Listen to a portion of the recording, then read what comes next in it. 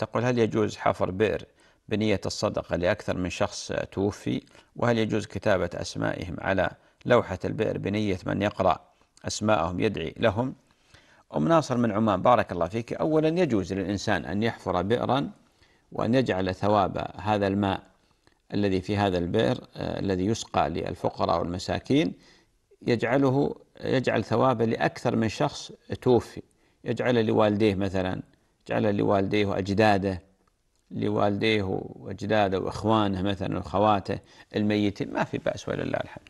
كتابة الاسم إذا كان والله الجمعية تقول نحن لا بد من كتابة الاسم للتوثيق ما في بأس. أما أن يكتب الإنسان الاسم لأجل الرياء حتى يقال والله فلان ما شاء الله يتصدق عن أمواته لا ما يجوز.